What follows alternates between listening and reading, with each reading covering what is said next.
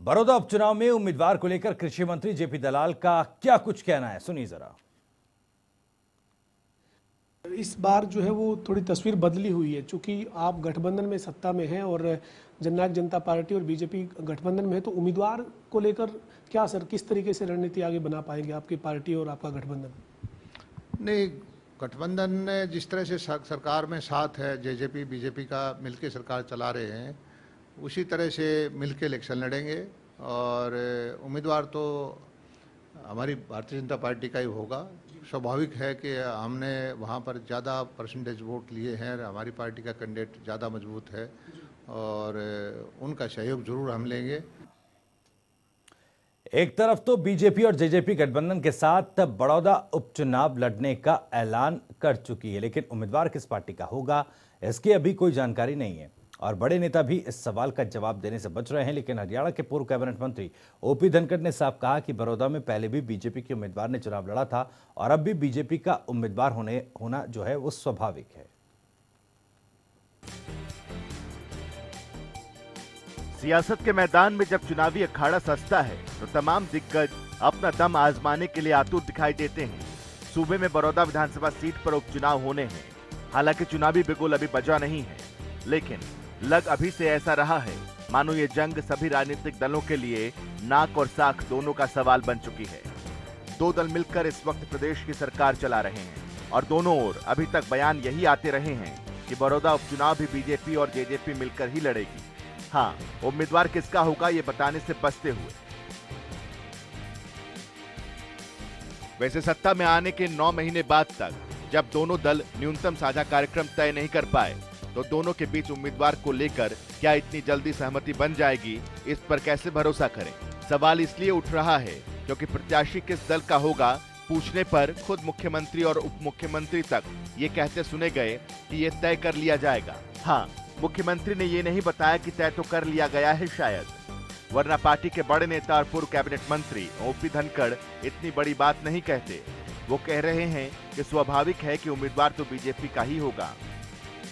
इस सीट पर भारतीय जनता पार्टी का स्वाभाविक रूप से एक, वो कहूँगा कि मैं हक है, भारतीय जनता पार्टी चुनाव लड़ेगी। उम्मीदवार किसका होगा और किसका नहीं, ये तो पार्टी खुद तय करेगी, लेकिन धनखड़ साहब का पार्टी में अलग स्थान है। वो बीजेपी के पिछले कार्यकाल में कैबिनेट मंत्री थे और बड़ौदा उपचुनाव के दौर में उनका ये बयान आना काफ़ी मायने रखता है। और ओम प्रकाश धनकर के बयान को सिर्फ़ कयास के तौर पर नहीं देखा जा सकता सियासत में कुछ भी संभव है, क्योंकि बड़ौदा उपचुनाव के दंगल में मंगल के लिए पार्टी पूरा ज़ोर लगा रही है। खैर, दोनों दल किस उम्मीदवार पर दांव खेलेंगे, क्या आधार होगा और जनता का दिल जीतने के लिए कौन मंगल होगा, ये ना तो आप तय करेंगे, न हम, न पार्टी तय करेगी तो सिर्फ़ जनता। जनता टीवी के लिए गुहाना से राम सिंह मार के साथ, ब्यूरो रिपोर्ट। तो पवन सेवर हमारे संवाददाता, ज़्यादा जानकारी और बातचीत के लिए सीधे चंडीगढ़ से हमारे साथ जुड़ रहे हैं। पवन, बड़ौदा उपचुनाव को लेकर जो सियासी सरगर्मियाँ हैं, एक तरफ़ जेजेपी के तमाम दावे हैं कि गठबंधन और सहमति से उम्मीदवार तय किया जाएगा, लेकिन जो बड़े नेता हैं बीजेपी के, चाहे कृषि मंत्री जेपी दलाल हो, ओपी धनखड़ हो, वो दावा कर रहे हैं कहीं ना कहीं मजबूती के साथ कि जो उम्मीदवार है बड़ौदा सीट पर, वो बीजेपी का ही होगा। क्या माना जाए? क्या सहमति बन गई है या बीजेपी ने यह तय कर लिया है कि उन्हीं का उम्मीदवार होगा? बिल्कुल। जी, बिल्कुल देखिए, भविष्य जब बड़ौदा के उपचुनाव की तारीखों का ऐलान होगा, उसके बाद जो है, वो पार्टी का उम्मीदवार बीजेपी का होगा, जेजेपी और बीजेपी इस वक्त गठबंधन के साथ सत्ता में है तो किस तरीके से उम्मीदवार जो है, वो तय किया जाता है? क्या पार्टी का सिंबल जो है, वो बीजेपी का हो या फिर जेजेपी का जो उम्मीदवार हो और पार्टी सिंबल बीजेपी उसको दिया जाए क्या फैसला किया जाएगा? ये जो है वो आने वाले वक्त में जब चुनाव की तारीख तय होगी, उसके बाद साफ़ होगा। लेकिन दावेदारी बीजेपी ने अपनी मज़बूत तरीके से ठोक दी है कि बीजेपी के सिंबल पर चुनाव जो है वो उम्मीदवार लड़ेगा, बीजेपी का उम्मीदवार होगा, चूँकि 2019 के विधानसभा के चुनाव में बीजेपी ने वहाँ पर बड़ौदा के चुनाव में आम जब चुनाव हुए 2019 में तो बड़ौदा में अच्छा परफॉर्मेंस जो है वो बीजेपी का रहा है। और यही वजह है कि बीजेपी के नेता जो है वो इस सीट के ऊपर बीजेपी का ही उम्मीदवार उतारा जाए इसी को लेकर जो है वो प्रयासरत है। इसी जुगत में जो है वो बीजेपी के नेता लगे हैं। जनता टीवी से खास बातचीत में हरियाणा के कृषि मंत्री जयप्रकाश दलाल ने भी कहा कि आ, 2019 के चुनाव में दो नंबर पर यानी दूसरे नंबर पर चुनावी नतीजों में बीजेपी रही है। लिहाजा बीजेपी का ही उम्मीदवार होगा, लेकिन उन्होंने कहा कि जेजेपी के साथ गठबंधन में सत्ता में है तो उनका सहयोग लेंगे और इस सीट को बीजेपी, जेजेपी का गठबंधन जीतेगा, लेकिन उन्होंने उम्मीदवार बीजेपी का ही होगा, ये बात स्पष्ट की। इसके अलावा चाहे हम पूर्व कृषि मंत्री ओम प्रकाश धनखड़ की बात करें या फिर बीजेपी के तमाम दिग्गजों की बात करें जो बड़ौदा के अंदर जा रहे हैं लोगों से मिल रहे हैं और वहाँ की हवा को भांपने की कोशिश कर रहे हैं वो कहीं ना कहीं बीजेपी इस तैयारी में जुटी है कि पहले लोगों की नबज टटोली जाए और साथ ही साथ बीजेपी अपना दावा भी मज़बूत इस तरीके के कार्यक्रमों के ज़रिए कर रही है कि बड़ौदा की जो सीट पे उपचुनाव होगा उसमें उम्मीदवार जो है वो बीजेपी का ही होगा, बीजेपी के पार्टी के सिंबल पर चुनाव लड़ेगा, लेकिन सत्ता में सहयोगी होने के नाते जेजेपी के साथ गठबंधन की बात की जा रही है। दूसरी तरफ़ जेजेपी ने भी हलचलें बड़ौदा में जो है वो बढ़ाई। दिग्विजय चौटाला जो है वो वहाँ पर गए अजय चौटाला गए। इस तरीके से तमाम जो है वो जेजेपी के नेताओं ने भी वहाँ पर लोगों के साथ बातचीत की और जेजेपी भी अपना पलड़ा भारी जो है वो वहाँ पर दिखे ऐसी कोशिश कर रही है। लेकिन देखना यही होगा कि उम्मीदवारों का जब चयन होगा तो किस तरीके से दोनों जो गठबंधन में इस वक्त सत्ता में है दोनों दल किस तरीके से अपना उम्मीदवार तय करते हैं।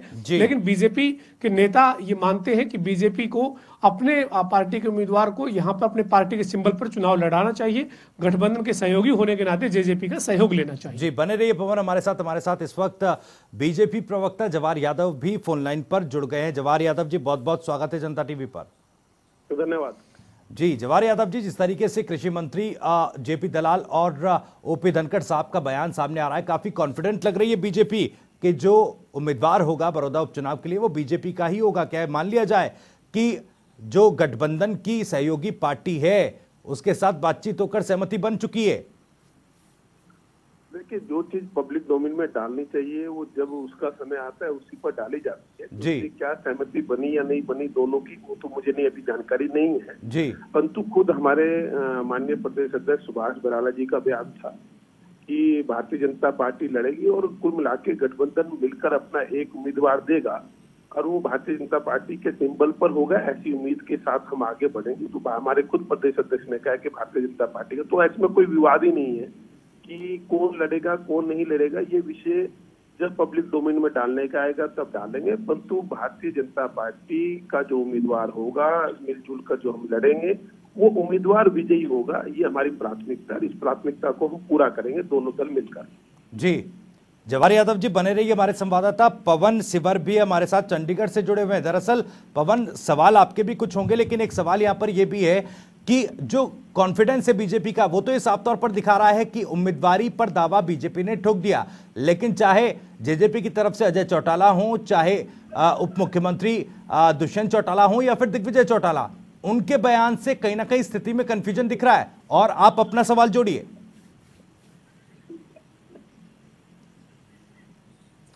हाँ बिल्कुल जवाहर जी से मेरा यही सवाल है। मुख्यमंत्री मनोहर लाल ने भी कैबिनेट के बाद एक दिन जब प्रेस कॉन्फ्रेंस की, तब उन्होंने भी ये स्पष्ट संकेत दिया कि बीजेपी का उम्मीदवार मैदान में होगा। प्रदेश अध्यक्ष सुभाष बराड़ा की बात करें, जवाहर जी, या फिर तमाम आपके पार्टी के जो दिग्गज बड़े नेता हैं, वो लगातार ये स्पष्ट कर रहे हैं कि पार्टी का सिंबल बीजेपी का होगा, बीजेपी का उम्मीदवार होगा, जेजेपी के साथ गठबंधन में, इसलिए हम गठबंधन में चुनाव लड़ेंगे, सहयोग जेजेपी का लेंगे। लेकिन क्या सर किस तरीके से इससे आगे बढ़ा जाएगा? चूँकि जेजेपी भी अपनी वहाँ पर जो है वो मज़बूत दावेदारी बता रही है कि हमने 2019 के चुनाव में नई बनी पार्टी होने के बावजूद वहाँ पर काफ़ी अच्छी परफॉर्मेंस हमारे उम्मीदवार की रही है। तो ऐसे में कैसे कैसे समाधान होगा सर इस चीज़ का? नहीं, निश्चित रूप से जेजेपी ने अपनी उम्मीदवारी अच्छे ढंग से प्रस्तुत की और भारतीय जनता पार्टी के बाद जेजेपी का स्थान उस पर आया। तो उसी फार्मूले को कायम रखते हुए भारतीय जनता पार्टी और जेजेपी मिलकर इस चुनाव को लड़ेगी। और जेजेपी की जो पहले जब वहाँ इनेलो होती थी, जब ये संयुक्त रूप से एक थे, तब भी उनके उम्मीदवार यहाँ कई बार जीते थे। परंतु जेजेपी बनने के बाद उतना रूप में नहीं मिल पाई थी। तो आज परंतु वहाँ एक तरह से मानिए कि जेजेपी और भारतीय जनता पार्टी दोनों मिलकर दोनों के मतों को छोड़ा जाए और इसमें से काफ़ी मत घटा ले तो भारतीय जनता पार्टी और जेजेपी मिलकर इस उपचुनाव को बहुत अच्छे ढंग से जीतेगी। कौन प्रत्याशी होगा, कब होंगे चुनाव, अभी तो ये सब दूर की बातें हैं। अभी तो कोई ऐसी अधिसूचना भी जारी नहीं हुई कि चुनाव की कोई डेट भी तय नहीं है। तो जब ये चीज़ें आएगी उस समय की चर्चा का विषय है कि प्रत्याशी कौन होगा, परंतु ये निश्चित है भारतीय जनता पार्टी और जेजेपी मिलकर संयुक्त रूप से चुनाव को लड़ेगी। जी बिल्कुल। जवाहर यादव जी बने रहे हमारे साथ पवन भी हमारे साथ लगातार जुड़े हुए हैं। लेकिन इस बीच हमारे जो जेजेपी के प्रवक्ता हैं अरविंद अरविंद भारद्वाज जी वो भी हमारे साथ जुड़ गए। अरविंद भारद्वाज जी बहुत बहुत स्वागत है जनता टीवी पर। जी धन्यवाद सर। जी बीजेपी से जवाहर यादव जी भी हमारे साथ जुड़े हुए हैं। लेकिन सवाल सबसे पहला ये जो बीजेपी प्रवक्ता से भी हमने किया कि एक तरफ़ जहाँ बीजेपी कॉन्फिडेंस नज़र आ रही है जहाँ चाहे कृषि मंत्री जी के बयान को देखें या फिर ओपी धनखड़ जी के बयान को देखें। कॉन्फिडेंस ये कि बीजेपी का ही उम्मीदवार होगा। हालाँकि जवाहर यादव जी कह रहे हैं कि अभी पब्लिक डोमेन में इस तरह की चीज़ों को लाने की ज़रूरत नहीं है। सहमति और सहयोग के साथ ही चुनाव लड़ा जाएगा। क्या कहेंगे? अरविंद भारद्वाज जी। देखिए ये तो अभी तय नहीं है कि कैंडिडेट जेजेपी से होगा या बीजेपी से दोनों पार्टियाँ मिलकर ही तय करेंगी किस पार्टी का उम्मीदवार लड़ेगा। परंतु एक बात बिल्कुल निश्चित तौर पर तय है कि दोनों पार्टियाँ बीजेपी जेजेपी मिलकर इस चुनाव को लड़ेंगी भी और जीतेंगे भी। सौ परसेंट जीत गठबंधन सरकार की इस चुनाव में होने जा रही है। और उम्मीदवार बहुत अच्छा और बढ़िया साफ़ छवि का अच्छा उम्मीदवार होगा। लोगों के बीच का होगा जिसे लोग पसंद करते होंगे जिताऊ कैंडिडेट होगा और दोनों पार्टियाँ मिलकर उम्मीदवार तय करेंगी और दोनों पार्टियों के लोग मिलकर उस उम्मीदवार को जिताएँगे। अरविंद भारद्वाज जी हमारे संवाददाता पवन भी हमारे साथ जुड़े हैं। पवन जैसा आ, मैंने कहा था कि आ, सवाल किया था कि कॉन्फिडेंस है क्योंकि बीजेपी या यूँ कहें कि हरियाणा सरकार में कैबिनेट मंत्री स्तर के लोग इतने कॉन्फिडेंस के साथ जब ये कह रहे हैं कि बीजेपी का उम्मीदवार होगा तो ऐसी स्थिति फ़िलहाल ऐसा दर्शा रही है कि बीजेपी ने जो दावा ठोका है उस पर लगभग फिक्स हो चुका है तमाम चीज़ें। लेकिन ये जो स्थिति है कि अभी गठबंधन के साथ बातचीत करके एक अच्छा उम्मीदवार तय किया जाएगा सहयोग से इसको लेकर क्या कंफ्यूजन है कोई? देखिए अभी भारत के चुनाव आयोग को इस बड़ौदा उपचुनाव की तारीखों का ऐलान करना है। अभी हालाँकि कोई भी किसी भी तरीके का औपचारिक ऐलान नहीं है लेकिन हरियाणा में राजनीतिक सरगर्मियाँ राजनीतिक जो पारा है वो बड़ौदा उपचुनाव की वजह से ज़रूर बढ़ा है। सभी जो राजनीतिक दल है वो अपनी अपनी तरह से अपनी अपनी तैयारी में जुटे हुए हैं। मेरा अरविंद जी से सवाल ये है जवाहर जी अभी कह रहे थे कि 2019 के चुनाव में बीजेपी दो नंबर पर रही यानी दूसरे नंबर पर योगेश्वर दत्त के वोट वहाँ पर है। तीसरे नंबर पर जेजेपी है। जेजेपी ने भी काफ़ी जो है वो अच्छी परफॉर्मेंस के साथ वहाँ पर मज़बूत तरीके से चुनाव लड़ा और नई बनी हुई पार्टी होने के बावजूद जो है वो जो जेजेपी के उम्मीदवार थे, उन्होंने भी काफ़ी अच्छी परफॉर्मेंस के साथ चुनाव लड़े और तीसरे नंबर पर रहे। तो अरविंद जी, ऐसे में अगर ये फार्मूला निकलता है कि बीजेपी दो नंबर पर थी और जेजेपी तीन नंबर पर थी, ऐसे में अगर आपकी पार्टी में ये दोनों दलों में जब गठबंधन में आप हैं तो ये तय किया जाता है कि ऐसे में बीजेपी का दावा बड़ा दावा बनता है। तो क्या जेजेपी इसके लिए तैयार है? देखिए पिछला जो चुनाव की आप बात कर रहे हैं, उसमें बिल्कुल बीजेपी सेकंड नंबर पे थी और जननायक जनता पार्टी ने भी बहुत अच्छा परफॉर्म किया था। पहला हम चुनाव लड़ रहे थे विधानसभा का। उसके बावजूद भी बहुत अच्छी वोट उसमें हमारे कैंडिडेट ने ली थी। और अगर पुराना इतिहास अगर इस सीट का देखें तो पिछले अगर दो तीन चुनाव को छोड़ दें, जिसमें श्री कृष्ण हुड्डा जी यहाँ से विधायक जीते थे तो उससे पहले ये चौधरी देवीलाल जी की सीट हुआ करती थी, जहाँ पर कई बार लगातार उनके कैंडिडेट इस सीट को जीतते रहे हैं। तो अगर उस तरह से देखा जाए तो जेजेपी का भी दावा यहाँ बहुत मज़बूत है। परंतु ये सवाल नहीं है कि बीजेपी लड़ेगी या जेजेपी लड़ेगी। देखिए, ये और अभी ये तय भी नहीं है। अगर कोई ये कहता हो, चाहे वो जेजेपी की तरफ़ से कहे या बीजेपी की तरफ़ से, ऐसा कोई फाइनल नहीं है कि कौन लड़ेगा। अभी ये तय होगा जब चुनाव घोषित हो जाएँगे उसके बाद। अभी कोई तय नहीं है। हाँ कार्यकर्ता ज़रूर क्योंकि भावनात्मक ज़रूर हमारे भी कार्यकर्ता ये इच्छा ज़ाहिर करते हैं कि जेजेपी लड़ेगी। बीजेपी के भी करते होंगे निश्चित तौर पर बिल्कुल वो सब कार्यकर्ताओं की इच्छा होती है। परंतु अभी ये ऐसा तय नहीं है। और जो भी पार्टी लड़ेगी मिलकर चुनाव लड़ेंगे। अगर बीजेपी का कैंडिडेट लड़ा तो जेजेपी के कार्यकर्ता उसे जिताएँगे। और अगर जेजेपी का कैंडिडेट लड़ा तो बीजेपी के कार्यकर्ता भी साथ देकर उसे जिताने का काम करेंगे। अरविंद जी एक सवाल होकर दोनों पार्टी लड़ेंगी इस चुनाव जी अरविंद जी एक सवाल मेरा ये और यही सवाल मेरा बीजेपी प्रवक्ता से भी होगा जवाहर जवाहर यादव जी से भी होगा क्योंकि बीते दिनों जो मुलाकात हुई थी अभय चौटाला और अशोक तंवर की वो कहीं ना कहीं मुलाकात इस सीट पर जेजेपी की दावेदारी को और मज़बूत करती है जब गठबंधन की बात आती है। क्या ऐसी स्थिति है क्या कि अगर अशोक तंवर और अभय चौटाला की मुलाकात के कुछ समीकरण इन चुनावों में दिखें, क्योंकि तब तो रणनीति बदलनी पड़ेगी दोनों पार्टियों को। अरविंद जी। नहीं, ऐसा है, देखिए, अभय सिंह जी के पास या इन इनेलो के पास अब कुछ नहीं बचा, वहाँ सब खत्म हो चुका है।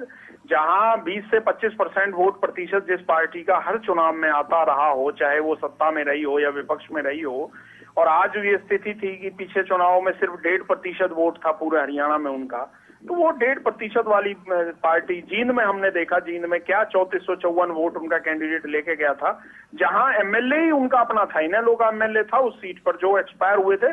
और जिनके निधन के बाद वो बाई इलेक्शन हुआ था। तो ये आज इनेलो स्थिति में नहीं है कि कहीं कोई गिनती उनकी हो। वो वही हज़ार दो हज़ार पाँच सौ वोटों का है उनका हिसाब इससे ज़्यादा कुछ नहीं है। चाहे वो अशोक तंवर जी को जोड़ लें। इन बाई इलेक्शन में तो बीएसपी के साथ भी अलायंस था जो दलित गठजोड़ की जो बात वो कर रहे हैं तो बीएसपी से अलायंस था। जब उनके चौतीस वोट आए थे तो कुछ नहीं निकलना उनके पास कुछ नहीं है। ज़ीरो है वो। ज़ीरो से किसी को गुणा कर लो। ज़ीरो ही आना है इससे ज़्यादा कुछ नहीं आना। आप चाहे वो अशोक तंवर जी को जोड़ लें आ जाए इससे कोई फ़ायदा नहीं है। अशोक तंवर जी की एक अच्छी छवि है। मेहनत उन्होंने बेचारे ने किया संघर्ष किया पार्टी ने जो भी उनके साथ किया। परंतु इन्हें लोग आप कोई भविष्य नहीं है इन्हें लोग खत्म हो चुकी है समाप्त है। पवन।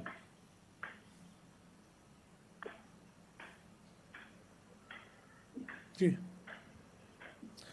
देखिए जवाहर जी जवाहर जी हमारे साथ है। जवाहर जी ये जी, सवाल है कि अगर इस बड़ौदा के उपचुनाव के हम समीक जी जवाहर जी 2005 से 1966 से लेकर 2005 तक का अगर इस सीट का अगर हम आंकलन करें और उसके बाद 2005 के बाद परिसीमन होने के बाद का आंकलन करें तो इनेलो जब यहाँ पर मज़बूत रही और अब जेजेपी भी जो हमारे साथ प्रवक्ता हैं भारद्वाज जी, ये भी यही कह रहे हैं कि हमारा पुराना जो है वो चौधरी देवीलाल का ये क्षेत्र रहा या यूँ कहें कि ये बड़ौदा सीट पर उनका प्रभाव रहा तो ऐसे में सर गठबंधन में किसी तरह से कोई कंफ्यूजन तो नहीं रहेगी? इस इस तरह से अगर दावा इस तरीके से किया गया और आप जो है वो दूसरे नंबर पर रहे हैं, बड़ी पार्टी के तौर पर आप 2019 के नतीजों में बड़ौदा में थे तो आप सब कुछ जो है वो सहमति से बना लिया जाएगा इस सीट को लेकर?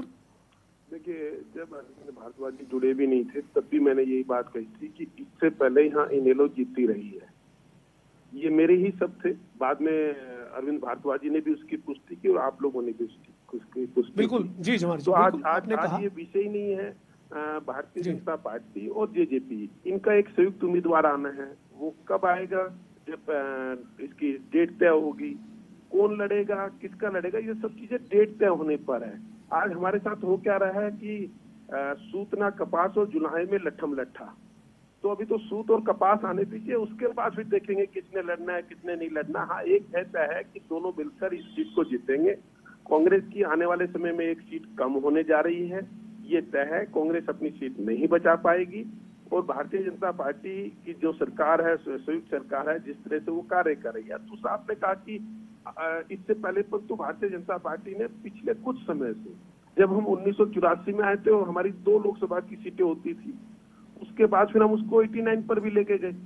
उसके बाद फिर हम लगातार अटल जी प्रधानमंत्री बने, देश के फिर मोदी जी दूसरी बार प्रधानमंत्री बने। जब सीएम श्री मनोहर लाल जी बने, उससे पहले तो लोग हमारा उपवास ही उड़ाते थे कि कहाँ टिकेंगे, किसके वो तो परिस्थितियाँ बदलती है। आज भारतीय जनता पार्टी की हरियाणा में वो स्थिति है जो सत्ताधारी पार्टी है। अब पुरानी स्थिति नहीं रही है। तो निश्चित रूप से रही है कि भारतीय जनता पार्टी और जेजेपी का जो प्रत्याशी होगा वो इस उप, बड़ौदा उपचुनाव को जीतेगा और एक तरह से हमारी संख्या एक और बढ़ जाएगी। बीजेपी के जो विधायक होंगे जेजेपी के जो विधायक होंगे जो इंडिपेंडेंट विधायक होंगे इसमें एक विधायक और जुड़ने जा रहा है। जी जवाहर यादव जी आप फ़िलहाल जैसा आप बता रहे हैं कि फ़िलहाल कांग्रेस की एक का आ, सीट कम होने जा रही पवर अगर कोई और सवाल आपके हैं तो करिएगा प्लीज़। चौहान जी यही सवाल है। भूपेंद्र सिंह हुड्डा इस क्षेत्र को अपना गढ़ मानते हैं और वो मुख्यमंत्री मनोहर लाल को भी यहाँ से चुनाव लड़ने की चुनौती तक दे चुके हैं और ये कहते हैं कि जो है वो यहाँ पर कांग्रेस के राज में विकास हुआ और पिछले साढ़े पाँच साल छः साल जो अब का अगर आपका कार्यकाल मिला लिया जाए तो बड़ौदा में विकास डेवलपमेंट किया नहीं और अब मुख्यमंत्री यहाँ पर आकर लोगों को ये कह रहे हैं कि सत्ता में भागीदारी चाहिए तो आपको गठबंधन के साथ आना होगा। कैसे देखते हैं इस पूरे समीकरण को, सर? देखिए जब घर में झगड़ा होता है तो ऐसी स्थिति होती है, भूपेंद्र सिंह हुड्डा जी का बयान अलग है और दीपेंद्र हुड्डा जी का बयान अलग है। दीपेंद्र हुड्डा जी का ट्वीट वो अभी भी है, उसका मैंने जवाब दिया था। उन्होंने कहा कि बड़ौदा आज तक विकास से वंचित रहा है। तो हमने उनका जवाब दिया था कि आप जिस व्यक्ति ने आपके पिताजी के लिए सीट छोड़ी अपनी और उसके बाद आपके पिताजी मुख्यमंत्री चुन लिए गए थे, परंतु विधायक के जो चुने गए, वो श्री कृष्ण हुड्डा जी के सीट छोड़ने से चुने गए थे। मैंने कहा, ऐसे व्यक्ति का आप अपमान क्यों कर रहे हैं? जब आप ये कहते हैं कि बड़ौदा में बिल्कुल विकास नहीं हुआ, इसका मतलब आप श्री कृष्ण हुड्डा पर निशाना साधते हैं, जो व्यक्ति आज जीवित नहीं है। तो आज तो मुझे लगता है कि पिता पुत्र में कहीं ना कहीं मतभेद शुरू हो गए हैं कि पिता को लगता है विकास हुआ और बेटा कह रहा है, विकास नहीं हुआ। तो ये स्थिति ऐसी है तो इसलिए मैं कांग्रेस के पारिवारिक मामलों में नहीं जाना चाहता। जहाँ तक भारतीय जनता पार्टी और जेजेपी है, हमने विकास भी किया और विकास पर मोर लगी है, तभी पार्टी दोबारा से आई है और लगातार विकास कर रहे हैं। मुख्यमंत्री जी का ये कहना है कि एक तो होता है कि मुख्यमंत्री 22 के 22 जिलों के 90 के 90 विधानसभा को एक रूप में देखते हैं, परंतु वो एक सकारात्मक सोच है। जब आप कहते हैं कि आपकी विकास में हिस्सेदारी उस रूप में हो कि विधायक ये कह सके कि मैं सत्ता में था। आपका जो ये बड़ौदा विधानसभा है, ये भी सत्ता का एक पक्ष है। इसका ये नहीं रहता कि हम नेगेटिव सोचो कि उनका हमने विकास नहीं किया। आज मैं रिकॉर्ड पे कहता हूँ, पूछिए भूपेंद्र सिंह हुड्डा जी से कि कब उन्होंने विपक्ष के विधायकों को क्या नाम है डेवलपमेंट के लिए राशि दी थी?